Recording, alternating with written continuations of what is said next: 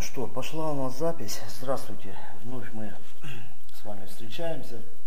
Уважаемые коллеги, профессиональные дайверы. Именно профессиональные, потому что я думаю, это видео будет не настолько актуально для подводных охотников, но а для любителей, я думаю, что оно тоже будет в принципе интересно. Потому что, ну, во-первых, каждый любитель когда-нибудь захочет стать профессионалом. Вот. Ну а в наших водах э, российских, погружаясь, э, в общем-то, рано или поздно приходишь к тому, что в общем-то, нужно обзаводиться сухим костюмом. Именно сегодня мне бы хотелось поговорить об этих костюмах, затронуть некоторые аспекты эксплуатации, ремонта и герметизации костюмов. Вот. Ну, скажу откровенно, я особо не готовился к этому видео, но его сделать меня попросили мои коллеги. Вот для того, чтобы ну, как бы актуально отвечать на некоторые вопросы. Вот, я взял то, что у нас, как говорится, было под рукой, вот, то, что принесено в ремонт, или то, что было списано. И мы сегодня вот о некоторых этих аспектах герметизации, ремонта с вами поговорим. Вот. С чего бы мне хотелось начать? Ну, вы знаете, что э, при температуре воды ниже 14 градусов все системы рекреационного дайвинга э, рекомендуют э, переходить на погружение в сухих гидрокостюмах. Ну, понятно почему, то есть мы не будем касаться аспектов физики, тут физиологии. Вот. Что касается профессиональных работ, когда э, ныряльщику профессиональному приходится под водой проводить длительное время, тут вопрос сухого костюма как бы вообще не обсуждается. Вот. Наш регион дальневосточный, он, конечно, востребован у дайверов, то есть в плане там, рекреационных погружений, ну а работы профессиональные, вы знаете, ведутся по всем акваториям нашей необъятной родины. Поэтому вопрос, э, некоторые вопросы по сухим гидрокостюмам будут, наверное, актуальны и интересны для многих. Вот, что, с чего бы я хотел бы начать? Значит, вот э, в данном случае, в данном случае, первое, хотелось бы обратить на что внимание, это вопрос э, герметизации и э, комфортного э, одевания гидрокостюма, точнее его комфортной герметизации. Вот. А значит, э, как вы знаете, то есть два места, по которым происходит герметизация сухого костюма по телу, это шея и манжеты. Вот. А полностью герметизация костюма осуществляется с помощью ну, герметичной молнии, которая располагается конфигурат, по конфигурации в различных костюмах по-разному. Вот. Я не буду делать опять же рекламы или ругать какие-то модели, вот, не буду называть марки и э, буду стараться ну, этого избегать постоянно, чтобы быть объективным вот, во всех вопросах, касающихся сегодняшнего видео. Вот. Э, но э, вот в данном случае, вот здесь вот передо мной, костюм из компрессионного неопрена. Вот. Когда-то на этом костюме стояли латексные манжеты. Вот. Сейчас вот как раз о латексе я хотел бы поговорить. Сам по себе латекс и манжеты из него ну, достаточно недороги. Вот. А второй плюс латекса при высокой эластичности, при высокой эластичности, он позволяет производить очень комфортную и мощную обтюрацию. Вот, вне зависимости от Э, размеру руки. Ну, здесь видно, да, вот, на примере, что он плотно облегает манжет, исключает протечку, вот, а его высокая эластичность самого латекса позволяет производить герметизацию по манжетам э, с очень высоким, э, так скажем, диапазоном диаметра конечности. Вот. Это, конечно, безусловно, очень удобно. На некоторых манжетах вот. Имеются вот э, такие вот э, колечки. Вот они идут от большего диаметра к меньшему. Ну, наверное, все знают, что эти колечки необходимы для подрезания латекса в случае, если манжет производит очень сильную герметизацию и обжатие. То есть рука перетекает, кровоснабжение нарушается и А, такое уплотнение становится со временем под водой некомфортным. Вот. Такая подрезка, она безусловно имеет смысл, потому что можно под себя уже в процессе эксплуатации э, манжет подогнать. Точно такая же подрезка производится и по шее. Вот там тоже такие же есть колечки, но у меня сейчас шейки нет, вот она отсутствует. Вот, но вот здесь вот э, я хотел бы подойти к такому вопросу. Вот при такой обрезке, даже если это делается с высоким навыком, хорошими ножницами, хорошим инструментом, такая обрезка, она все равно невозможна без так называемых пропусков или отступлений. Ну вот здесь вот видно, что по краю при обрезке э, в некоторых местах э, сохранилась волнилась, неровность. Ну я, конечно, тут не прикладывал каких-то стараний, сделал это все достаточно быстро. Вот. Но со временем вот эти вот заусенцы и прочее, они могут привести к очень неприятным последствиям. Вообще, вот при всех, так скажем, положительных характеристиках латекса, у него есть очень неприятные минусы. Но если, вы знаете, будет накол, накол, допустим, ну, распушенная прядь троса, да, вот, манжета, то есть это легко очень проколоть латекс.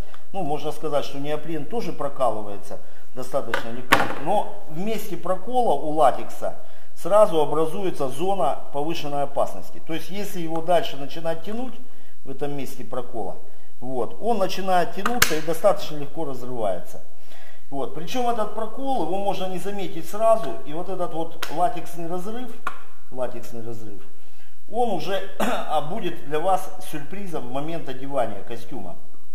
То есть вы приехали на край земли, нырять, погружаться вот, в интересное место или выполнять какую-то работу, одеваете свой латексный манжетик, и у вас вот такой вот сюрприз. Вот. А заклеить латекс с сохранением его эластичности и сохранением контакта с латкой достаточно сложно. То есть в дальнейшем порыв будет происходить вновь и вновь. Ну и потом такой разрыв, он в общем-то фактически на 100% выводит манжет из строя. Его надо переклеивать. переклеивать. А что мы, чем мы в принципе иногда занимаемся. Так вот, э, второй минус латексного манжета – это его э, быстрая холодопроницаемость, скажем так. Ну, кто работал в статике или с инструментом, с подводным, знает, что при длительном пребывании в воде э, руки, как основной наш инструмент при проведении работ, должны быть ну, в рабочем состоянии. Поэтому значительное охлаждение рук фактически приводит на нет э, все вопросы, связанные с работой.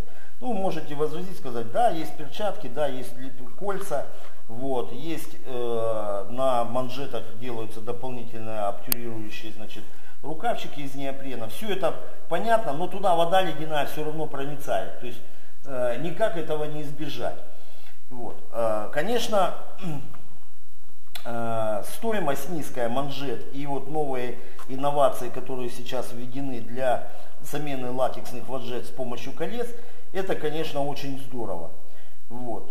И э, вот этот вот вопрос э, низкой цены, быстрой заменяемости, ну вот такого же неожиданного, так скажем, э, момента с порывом, он будет все время над э, дайверами висеть. Поэтому э, дайверы, многие, профессиональные прибегают к следующему. Ну вот в данном случае здесь дайвер не стал дожидаться, когда его латексный манжет, так скажем, изготовит ему сюрприз. Он произвел замену латексного манжета на неопрен. Ну, на вид это сделано, видите, достаточно качественно, аккуратно. Вот, манжет проработал очень длительное время, ну, примерно два с половиной года он проработал. Причем именно вот этот костюм, э, он использовался профессиональным водолазом, вот, э, ну, не на тяжелых работах, но на достаточно активно, то есть человек в нем нырял, вот, и тем не менее, э, вот вы видите, да, ну, здесь вот степень какая-то износа есть неопрена, отслои, отслоилась основа, но ремонтно-пригодность такого манжета, она очень высокая. То есть ее можно отремонтировать в условиях, так скажем, полевых, и он еще будет какое-то время работать достаточно комфортно. То есть неопреном, э, неопреновым клеем это можно все сделать. Что касается латексного манжета, ну я уже говорил, что малейший прокол, прорыв, Вот, все это приводит к разлохмачиванию, порыву, и потом заклеить это, ну, будет крайне-крайне сложно. Вот, поэтому, опережая события, многие дайверы, ну, я вас уверяю, что нисколько не заливаю, я был на некоторых заводах, которые делают гидрокостюмы с латексными манжетами. Вот, по просьбе некоторых водолазов, значит, костюмы делаются сразу с неопреновыми манжетами. Вот. Следующий момент, который очень, значит, ну здесь уже латексного как вы видите, шейного обтюрирующего кольца нет. Здесь тоже человек позаботился заранее и сюда же в костюм э, вогнал уже неопреновый шейный обтюратор. Вот. Здесь он вклеен очень тоже комфортно, аккуратно, с сохранением манжеты. Вот. Ну, пришлось немного помучиться здесь, конечно, с этим вопросом, но тем не менее, опять же говорю, вот этот неопреновый обтюратор отработал порядка трех сезонов. Вот. И тем не менее, костюм этот все равно вышел из строя. А в чем причина, я расскажу чуть позже. Вот, а сейчас да, закончу с этой шейной манжетой. Но если почитать мануалы по подготовке дайверов рекреационных в сухих костюмах, там есть такой момент, не знаю, сейчас сохранился он, а может быть его он был просто удален, что вот эта шейная обтюрирующая э, манжета, она должна сжимать шею не более чем на 15%. Вот. Почему я об этом упоминаю, почему говорю? Потому что здесь, если бы была латексная манжета, да, с узким вот таким вот входом, да, который нужно было бы отрезать, подрезать, вот, то подрезка шеи в итоге неаккуратная, она опять же привела к тому бы результату, что и с э, нарукавником. То есть произошел бы разрыв. Вот. Поэтому, ну, скажем так, производители продолжают латекс активно применять, а ремонтные мастерские начинают, продолжают активно латекс менять на неопрен. Вот. А, процедура замены а, латекса на неопрен, в общем-то, ну, скажем так, не дешевая, потому что а, вот именно сюда, вот в эти места, нужно ставить неопрен очень высокого качества. Здесь Тайвань или Китай не подойдет. Лучше всего работает Япония, Ямамото, вот, России, вот такие известные компании, которые ну, достаточно хорошо себя зарекомендовали на рынке неопрена. Вот. Экономить здесь не приходится. То есть э, эти части, шея и манжеты, являются важным фактором вот именно в обтюрации сухого костюма и э, комфортного пребывания под водой. Ну, представляете, да, что будет с дайвером, если он будет постоянно мокрый, под водой, в ледяной воде, вот, выходите эту воду сливать. Ну вот здесь вот видно на втором манжете, что нижняя часть манжета уже при работе, а грунт, а поверхность она тоже износилась, но она еще сохраняет свое рабочее состояние, то есть манжет еще продолжает работать. Естественно, прокол такого манжета, даже допустим в нескольких местах, тросом да, стальным, распушенным или раковиной, он только приводит к разрезанию поверхности. И опять же говорю, После того, как проколы были, видно, что неопрен продолжает выполнять свои функции. Вот это вот для профессионалов очень актуально. Вот. Что касается здесь шейки, ну здесь я говорю опять же вклеен неопрен. Этот неопрен очень хорошо работает, замечательно себя ведет. Человек три сезона отнырял, ничего с костюмом не случилось. Все великолепно, все хорошо.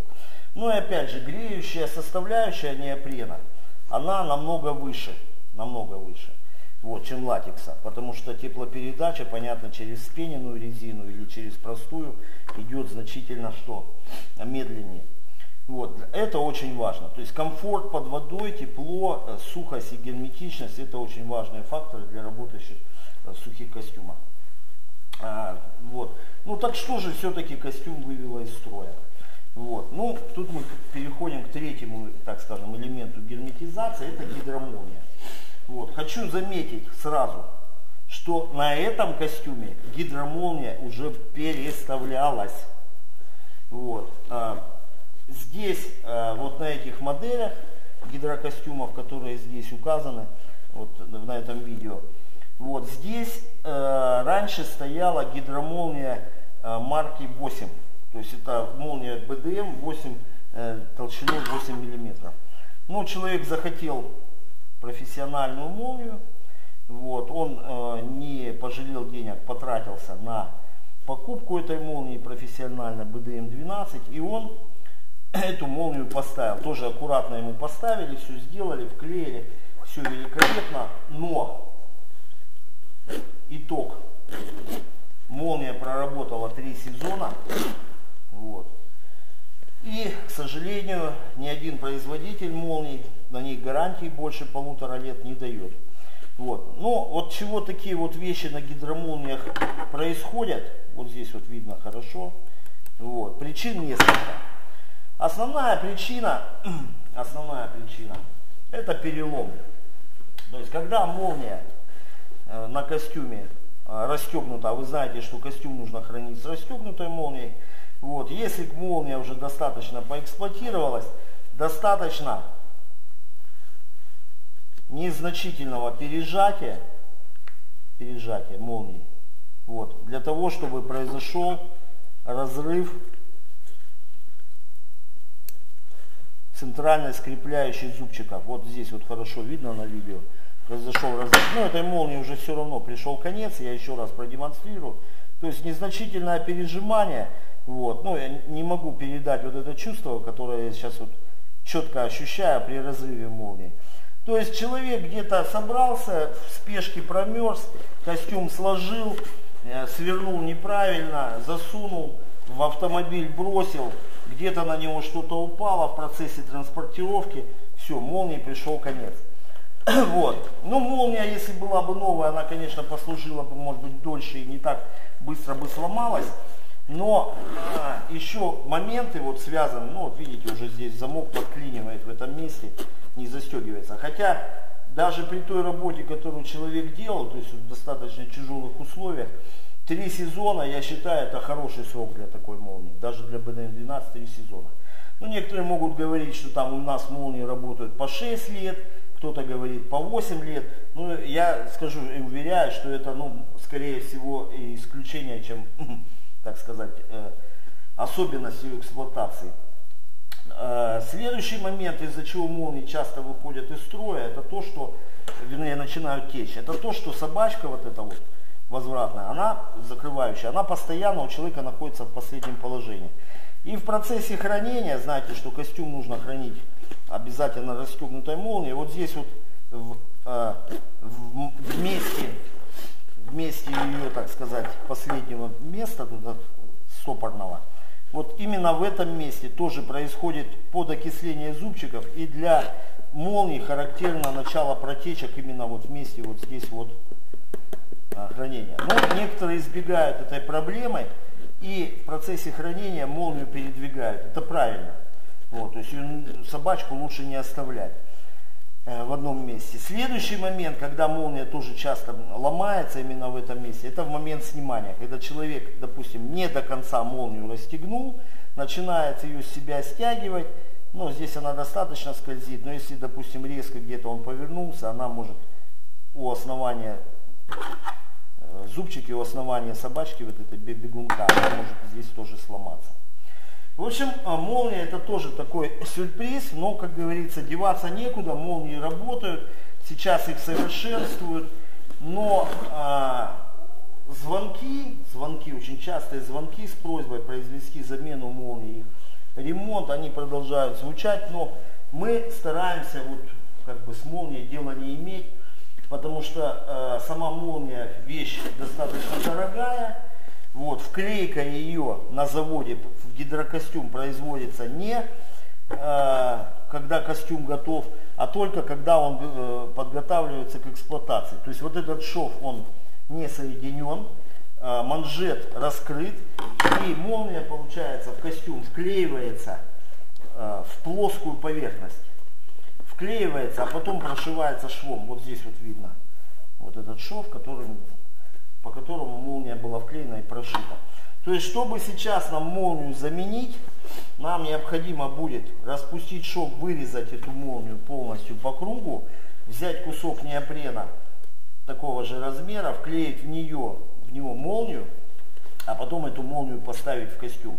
Естественно, здесь костюм мы уже разложить не можем на плоскую, и вклеивание такой длинной ну, то есть произведение такой операции, оно гарантировать не может стопроцентное качество. Ну, при особых, конечно, условиях сделать это можно.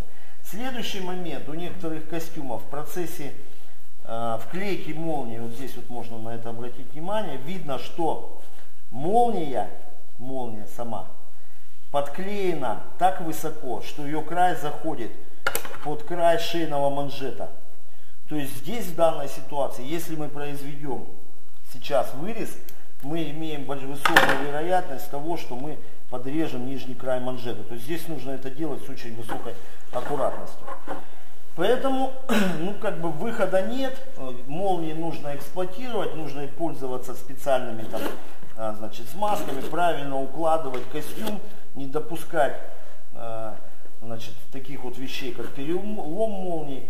Вот. Ну, может верой и правдой послужить какое-то время. Но опять же говорю, что больше полутора лет гарантии на молнию ни один производитель не дает. Вот. И это тоже большой срок, потому что молнии бывают ломаются быстрее. Вот. Еще момент, конечно, это то, что было непосредственно в моей практике, вот дважды происходило. Ну, правда, это было не на БДМ 12, это было на БДМ 8, то есть любительские молнии узкого такого размера 8 миллиметров. Что происходило? А происходило вот что. При э, сшагивании с борта или с пирса э, водолаза, если он еще ну, перегружен оборудованием, то есть с собой что-то несет, вот, высота ну, достаточно приличная, там пирса или борта. При сшагивании вот, и при динамическом ударе об воду, э, ну, в моей практике молнии дважды раскрывались. То есть от удара динамического воздуха изнутри молния рас, распускалась. То есть понятно, что это приводит к затоплению, естественно, весь воздушный пузырь из костюма выходит, водолаз теряет плавучесть. Вот. Но, скажу так, а где альтернатива? Когда, говорит, тонут куры, альтернатива это утки. Альтернатива в другом способе герметизации. Вот как раз вот наше видео, я хотел бы тоже часть его посвятить. Это способ герметизации совершенно для многих, многих незнакомым, незнакомый способ. Вот. Но тем не менее он сейчас набирает очень высокую популярность, мы на нем остановимся поподробнее. Вот. Этот э, способ герметизации, он применяется на целой серии костюмов, на целой серии костюмов. Вот. Э, костюмы изготавливаются в Японии, костюмы изготавливаются в Японии. Вот. И э, тот, кто работал на Южных Курилах, на добыче серого ежа, с этими костюмами очень хорошо знаком. Вот. Что это за способ, как происходит герметизация, я вам сейчас расскажу и покажу. Вот. Но профессиональные водолазы, которые работали в таких системах, как СВУ-3, наверное, помнят наш легендарный ГК СВУ-3, вот, э, который э, с помощью достаточно простого такого мешка входного шнуруется. Вот. Оказывается, это вот такой, ну скажем, совсем примитивный способ, он имеет под собой, так сказать, э, конкретный такой профессиональный фундамент. Вот. И японцы, видимо, ну я тут не могу сказать, кто у кого это взял, вот, и как продлил так скажем, историю. Но а, принцип герметизации этого сухого костюма точно такой же, как у нашего ГК-3. Причем в некоторых случаях я в своей практике вот эти вот резинки жгутовые от наших гидрокостюмов при, при, очень эффективно применял для у, герметизации вот этих вот сухих гидрокостюмов. Вот, очень это хорошо и удобно было делать. Вот. Что это за способ? Ну, во-первых, здесь я обращаю ваше внимание, есть, конечно, какие-то какие свои минусы. Значит, здесь костюм у нас 6,5 э, миллиметров с покрытием из э, э, не полиуретановой, латексной эмульсии, то есть он такого матового черного цвета, очень хорошо скользит, ничего на нем не обмерзает, очень износостойчив, вот, не цепляется за него ни металл, вот, ни камень не стирается, он мгновенно высыхает при выходе из воды, и вот эти вот облитые, полуоблитые костюмы, они очень высокую популярность сейчас, сейчас набирают. Вот. И я сам непосредственно в таких костюмах тоже сейчас смотрите. Вот. Что здесь и как делается?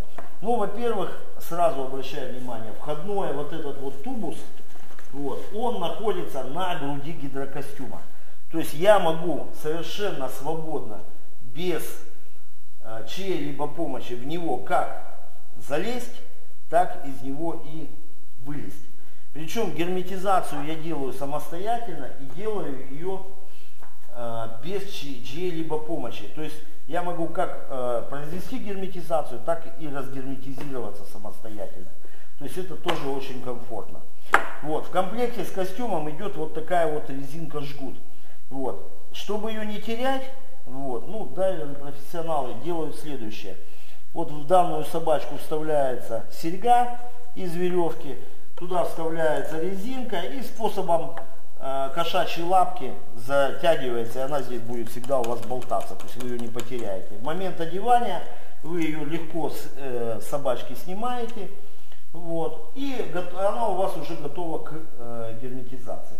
Как э, лучше всего производить герметизацию? Вообще на азиатских вот заводах, где костюмы делают, и там дайверы ныряют, они вообще-то не заморачиваются. Они делают следующим образом. Они просто одевают резинку, вот, одевают резинку, вот, производят утяжку, вот, и говорят, все, этого достаточно, костюм не протечет. Да, действительно, он не протекает, но на 100, скажем, погружений все-таки 2-3 протекания могут быть. Вот. Почему? Да потому что не всегда дайвер вовремя поддувает костюм воздухом. Во-вторых, вот этот вот манжет сам, он хоть и изготовлен из специального неопрена, здесь не идут традиционные сорта, вот, он все равно подвергается компрессии. Понятно, что на глубине он выжмется, вот, образуется щель, и через эту щель костюмчик начнет подтекать. Быть мокрым в холодной воде, ну, очень неприятно. Поэтому уже в процессе эксплуатации костюмов и помянуя, так скажем, опыт эксплуатации гидрокостюмов сухого типа отечественного производства, мы делаем всегда следующее. Перед герметизацией, я постараюсь сейчас делать это медленно и понятно, перед герметизацией, ну я здесь не в костюме, но будучи в костюме, могу сделать то же самое. Вот. Я в первую очередь одеваю резинку на руку, чтобы мне было удобно потом ее снять. Обращаю внимание, что один кончик резинки примерно на треть меньше другого кончика, то есть я его перетянул, специально расположил. И делается обязательно следующее. В первую очередь равняется край манжетов, то есть тубуса. То есть края должны быть ровными. Вот. Затем происходит сборка в гармошку. Сборка в гармошку.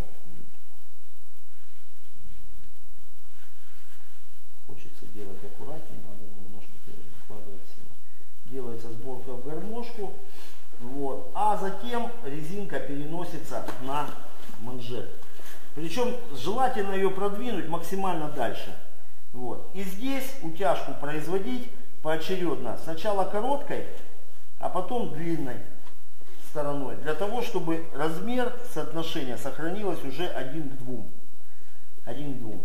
Вот. После того, как произведена первая утяжка, видите, здесь такой веерок образовался, достаточно нежный и красивый. Вот. И здесь нужно производить уже повторную утяжку. Смотрите, как она делается. То есть вы берете кончик короткий, укладываете в длину, берете кончик длинный, делаете 2-3 оборота примерно на расстоянии ладони от места герметизации и производите завязывание. Уверяю вас, никакая сила не даст ему развязаться. Вот. Достаточно утянуть. Можете сделать еще один оборот уже для конкретики. Резинка легко распускается, даже если вы длительное время проведете под водой. Вот. И вот этот вот оставшийся тубус заправляется в манжет и застегивается вот здесь вот не такими герметичными, обыкновенными крепкими молниями. Собачки изготовлены из нержавеющих материалов, латунные. Вот. Лучше всего хвостик заправлять на правую сторону, чтобы он не находился, не поддавливал на, сердеч, на сердечную область. Вот. Здесь он слева, вот, немножко некомфортно, снижает немножко обзор э, с, со стороны вот этого выступа. Но, э, уверяю вас, кто вот не работал в быстро к этому привыкает и никаких проблем нет. Вот, какая тут еще удобная функциональность? Дело в том, что вот этот кенгуру карман, который здесь образовался, туда некоторые дайверы даже кладут грузики. Кладут